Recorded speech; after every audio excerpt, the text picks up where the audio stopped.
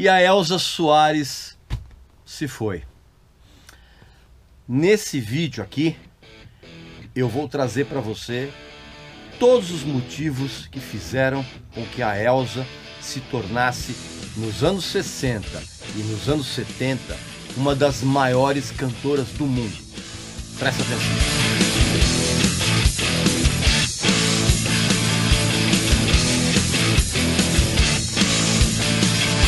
Meu amigo e minha amiga, vamos dar uma pausa um pouco nesse papo aqui, porque eu tenho um produto espetacular para mostrar para você e é uma novidade muito recente que acabou de chegar no Brasil. É esse fone aqui da Edifier, o W600BT, que é um fone Bluetooth que tem um equilíbrio perfeito, pelo menos para mim, que adora tanto graves, médios e agudos de uma maneira muito equilibrada e bem distribuída.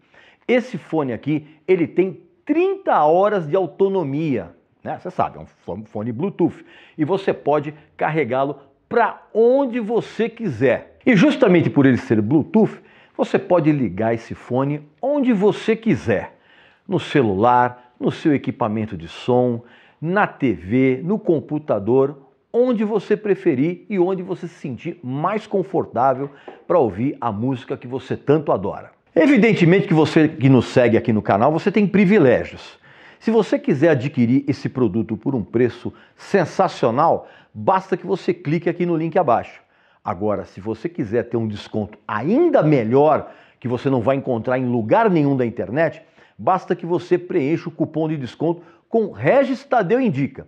E aí sim você vai adquirir um produto de primeira qualidade com um desconto que você não vai encontrar em lugar algum. Meu amigo e minha amiga, infelizmente, dias atrás, a Elza Soares faleceu.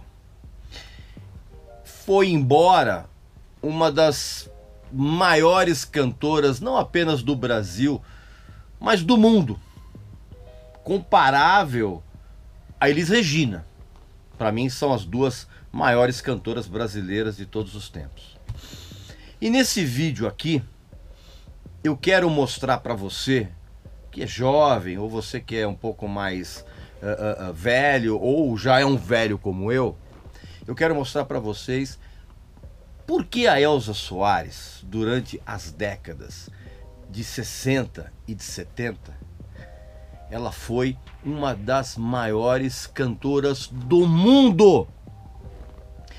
Antes, evidentemente, você vai fazer a sua inscrição aqui no canal, vai visitar a nossa loja que tem uns produtos muito legais, como essa camiseta aqui, ó, um grande astro da música brasileira também.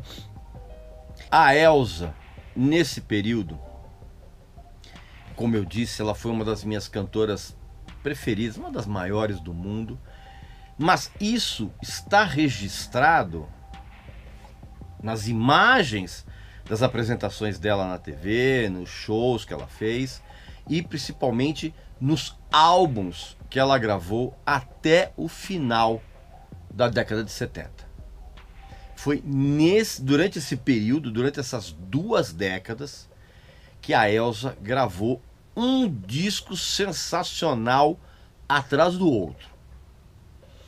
E é justamente a respeito disso que eu vou mostrar. Eu vou mostrar alguns deles aqui para vocês para formar uma para formar uma espécie de porta de entrada para o verdadeiro som maravilhoso que ela fez.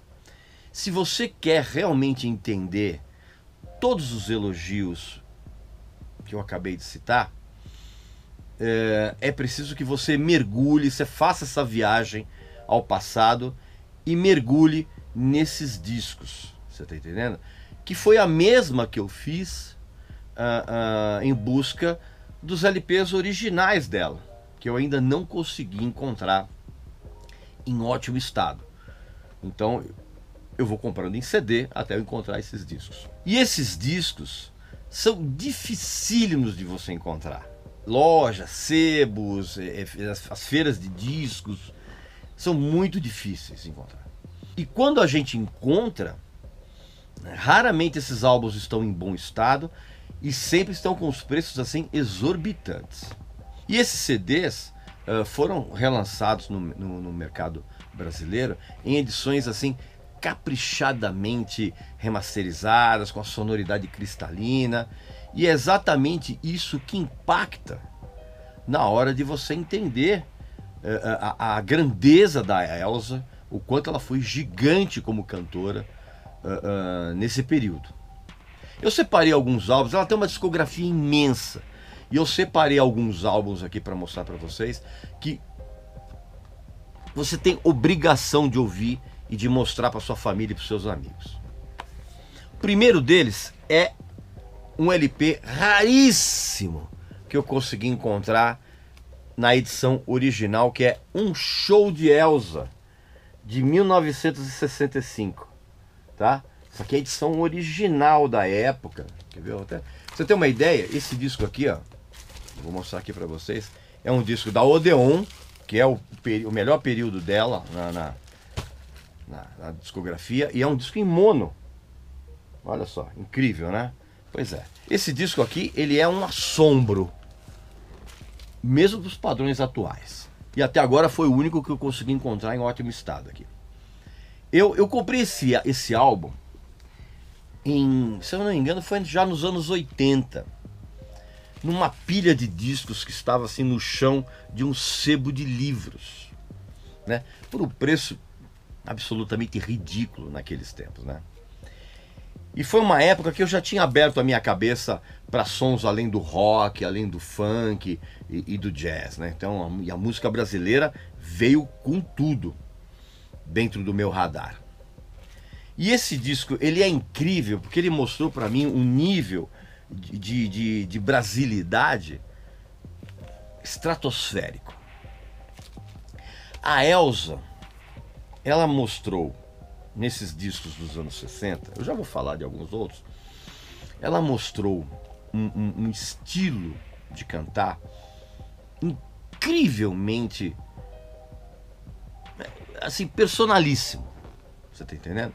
E cantando o samba com uma afinação impecável e um balanço que era um negócio inacreditável. Na interpretação dela, sempre havia, uh, uh, inclusive, alguns elementos que a gente só encontrava nas grandes cantoras de jazz.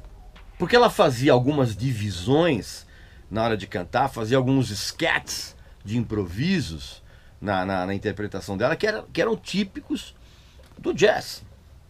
E ela não tinha lá, na época muito conhecimento disso, era uma coisa absolutamente intuitiva.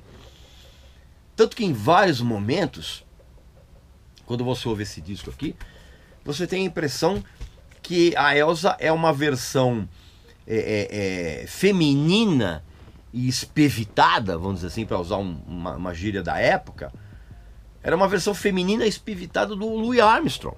O que ela fez aqui em canções como Ocultei, do, do, do Ari Barroso, Dindi, exatamente aquela canção maravilhosa do Tom Jobim, Samba da Minha Terra, do Dorival Caymmi, uh, e tem um medley aqui, que é Se Acaso Você Chegasse, Mulata Assanhada e Edmundo, que na verdade é uma versão de In The Mood, do Joe Garland.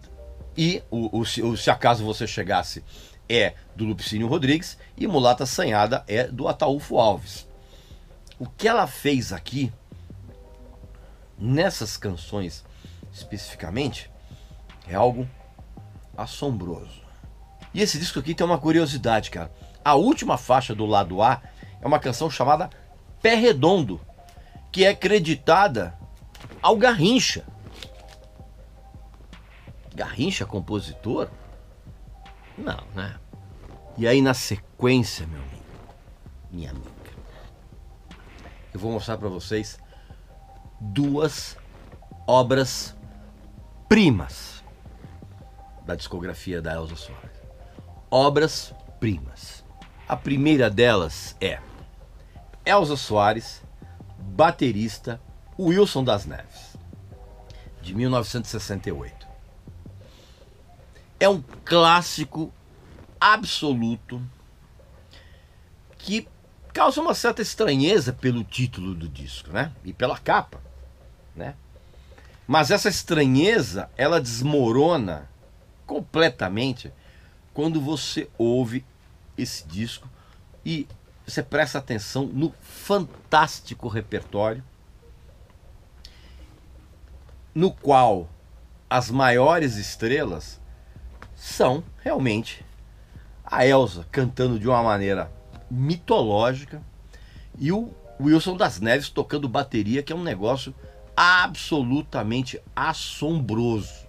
E junto com o, o, o belo trabalho, tanto do maestro Nelsinho, como do lendário maestro arranjador e produtor Lírio Panicali, a Elsa e o das Neves, eles estabeleceram uma simbiose musical raramente reproduzida na história da música brasileira.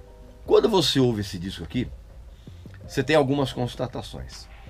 Enquanto o das Neves, ele pulveriza assim os cérebros dos bateristas, de quem ouve esse disco, com umas levadas e umas soluções rítmicas inacreditáveis. E quando eu digo inacreditáveis, isso vale até para os padrões rítmicos dos dias de hoje. A Elsa, ela injetou aqui umas interpretações de uma categoria, de uma inigualável, cara. É uma é, uma, é uma, algo de primeira classe em termos musicais. E ela mostra que como ela sempre foi é, é, é, dona, assim, vamos dizer assim, de uma de uma fiada de uma fiada antena sambista. E ela comanda aqui umas versões arrasadoras, cara. De Saudade da Bahia, do Dorival Caymmi, O Pato, do João Gilberto, e Deixa Isso Pra Lá, que era aquela canção que foi eternizada pelo Jairo Rodrigues. Não tem como você não se emocionar com a, a, a, algumas revisitações estupendas, cara, que ela fez aqui. Por exemplo, de Garota de Ipanema, do Tom Jobim, do Samba de Verão, do Marcos Vale, de Copacabana, do Dick Farley, e de Balanço Zona Sul, do Wilson Simonal. É um negócio emocionante, cara. E ela ainda regravou, com aquela bateria inacreditável do Wilson das Neves, três canções que ela já tinha gravado em álbuns anteriores, que são Mulata Assanhada, uh, Edmundo, né, Edmundo, e Se Acaso Você Chegasse. Esse disco aqui é simplesmente inacreditável. Não é só um clássico da música brasileira, é um clássico da música mundial. A outra obra-prima foi lançada em 1972 e é isso aqui, ó. Elsa pede passagem, também pela Odeon. É, presta atenção, outra obra-prima. Esse disco aqui, cara, ele começou a ser gravado assim que a Elsa voltou ao Brasil, depois de passar uns dois anos morando e trabalhando na Itália. E acredite se quiser, esse disco inteiro foi gravado em uma semana. Nesse disco, a Elsa estava ao lado do genial pianista e arranjador Dom Salvador. E sob a direção musical de outro maestro lendário aqui na música brasileira, que era o Lindolfo Gaia. E isso fez uma grande diferença, porque o disco inteiro é simplesmente sublime.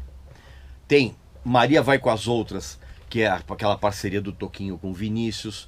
Tem ABC da Vida, uh, uh, da Elisete Cardoso. Tem Amor Perfeito, do Billy Blanco. Mas, assim, o grande filé, vamos dizer assim, estava na, uh, na, na inclusão de composições de gente que ainda não era muito conhecida naqueles tempos. Por exemplo, ela incluiu aqui Saltei de Banda, da dupla Zé Rodrigues e Luiz Carlos Sá. Montaram o Sá Rodrigues e Guarabira, lembra? E ela também gravou uma canção intitulada Cheguendengo, de uma dupla que a gente conheceu depois, Antônio Carlos e Jocafe. E dentro dessa proposta de regravar uh, uh, uh, canções de gente pouco conhecida, ela incluiu ainda O Gato, do Gonzaguinha, Mais do que Eu, do João Nogueira e Samba do Pá, de um cantor chamado João Só. E ela ainda deu uma nova vida, cara, para uma canção um pouco obscura do Jorge Ben, intitulada Pulo Pulo. Esse disco aqui, volto a dizer, cara, é uma obra-prima que você tem que conhecer de qualquer maneira. Outro disco espetacular surgiu em 1974, que é esse disco aqui, ó. Elza Soares. Porque depois que ela gravou esses discos espetaculares pela Odeon, e ela tem uma discografia pela gravadora Odeon que é simplesmente inacreditável, que você tem que conhecer. E eu espero que você tome contato com essa, uh, com essa discografia depois que você assistir esse vídeo. Enfim, depois que ela gravou aqueles discos espetaculares pela Odeon, o contrato dela com a gravadora não foi renovado a pedido dela. Cansou de trabalhar na Odeon e, e, e, e, esse contrato não foi renovado depois que ela lançou pela Odeon, no ano anterior, também um disco chamado Elza Soares. Então ela foi então para uma nova gravadora, que no caso foi a Tape Car, e ela lançou esse belíssimo álbum na nova casa, com um apoio importantíssimo de um outro grande nome da música brasileira, que era o tecladista e arranjador Ed Lincoln.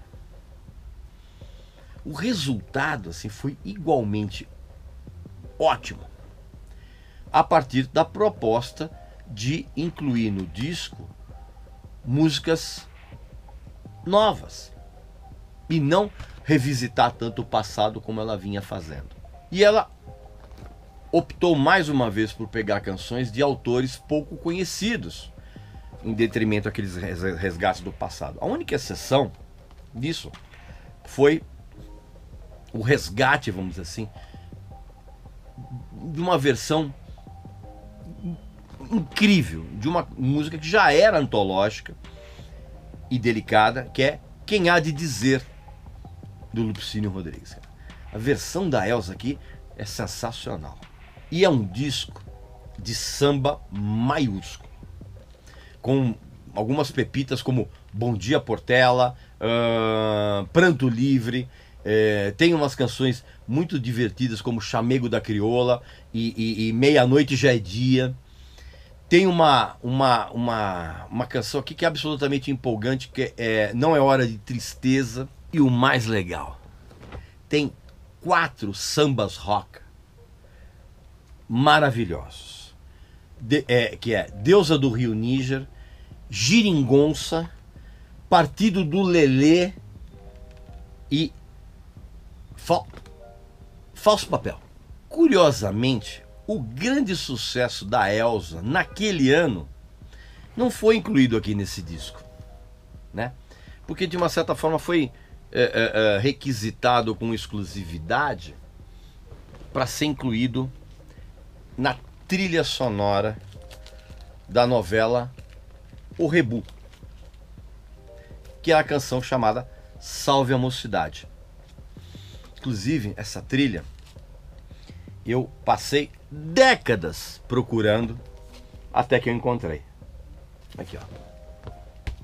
Trilha nacional. Esse disco aqui é raríssimo. Bota raríssimo nisso.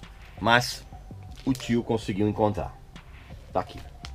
E, e, a música foi incluída na trilha sonora dessa novela. Depois acho que foi lançada em compacto. Mas curiosamente não foi. Uh, uh, uh, não saiu aqui no, no, no, disco original. Mas essa edição aqui do selo Descobertas, que aliás que é um selo muito legal, ele traz como bônus algumas faixas de compactos e tá aqui, Salva a Mocidade. E essa música então não entrou no, no, no álbum original, mas nessa edição aqui do selo Descobertas, que aliás é um selo que fez um trabalho muito legal de resgate da música brasileira do passado, uh, foi incluída Salve a Mocidade como bônus aqui, tá? Então esse disco aqui é um descasso. O outro disco que você tem a obrigação de ouvir e de mostrar para seus filhos, para sua família, para seus amigos, para todo mundo, é Pilão mais raça igual a Elsa, de 1977. Isso aqui foi o último álbum que ela gravou pela Tape Car e é um descasso, bicho. Primeiro que tem uma bandaça junto com ela aqui, incluindo o guitarrista e violonista Hélio Delmiro, os Golden Boys fazendo backing vocals, o Dino Sete Cordas no violão, o flautista Copinha entre outros músicos.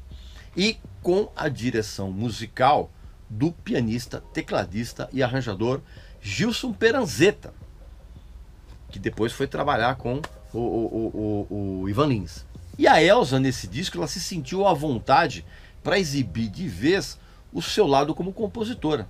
E ela colocou aqui três canções lindas, cara, que é Língua de Pilão, Enredo de Pirraça e tem uma outra aqui que chama é... Perdão Vila Isabel.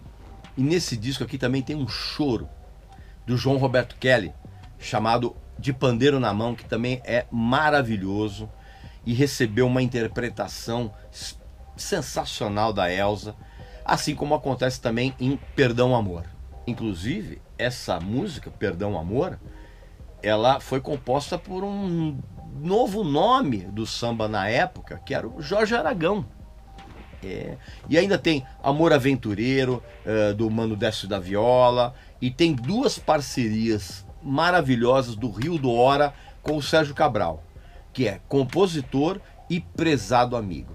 É um outro descasso. Além desses álbuns que eu mostrei para você, que realmente são discos incríveis, eu recomendo igualmente dois discos que a Elsa gravou em dupla, né? Fora aquele com Wilson das Neves, evidentemente. O primeiro é esse aqui, ó. Elsa, Miltinho e Samba.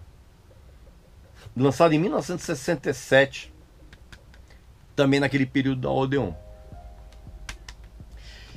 E como naquela época uh, fazia muito sucesso a dupla Elis Regina e Jair Rodrigues, uh, e um sucesso era realmente enorme, e a Elsa havia acabado de lançar um álbum só com canções antigas, que inclusive eu estou muito atrás desse disco chamado O Máximo em Samba, a Odeon sugeriu que a, que a Elsa se juntasse ao já famoso cantor Miltinho para gravar um disco meio que nos moldes do que fazia a, a, a Elis com o Jair Rodrigues. E essa parceria teve um entrosamento maravilhoso logo de cara. E esse entrosamento foi tão incrível que o disco todo foi gravado em dois dias.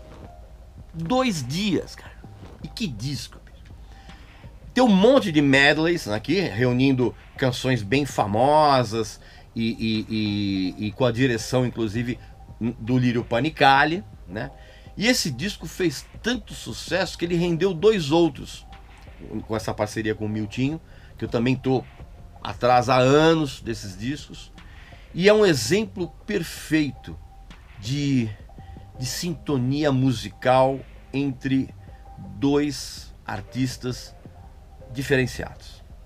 Não tenha sombra de você ter uma ideia, essa edição aqui, ela vem junto com o é, disco com o Wilson das Neves.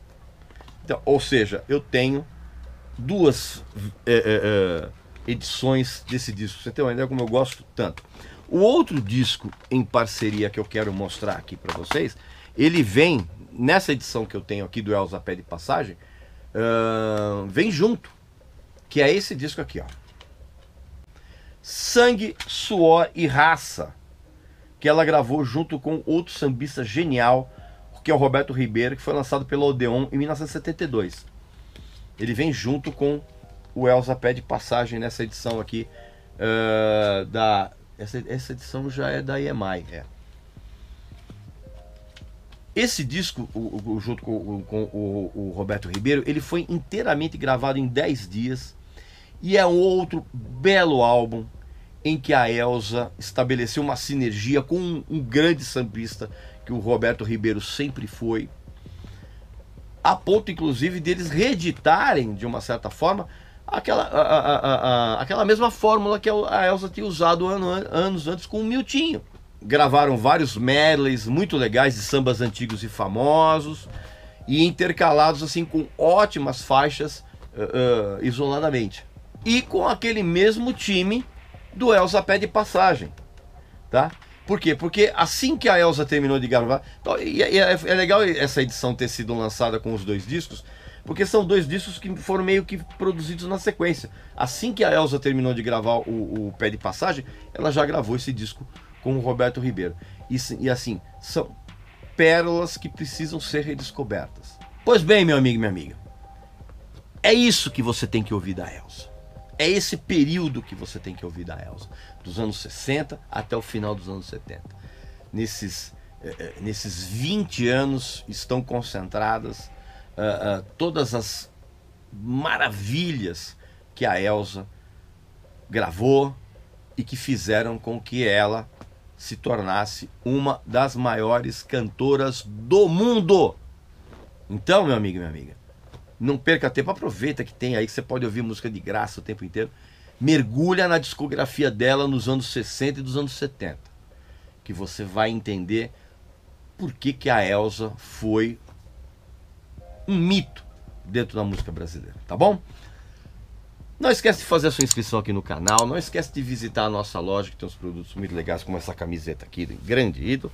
E também deixa aqui nos comentários a sua opinião a respeito dos discos da Elsa, tá bom? Principalmente desse período que eu, que eu falei aqui nesse vídeo, tá bom? Então, um abraço e saúde para você, para sua família e para seus amigos. Até a próxima.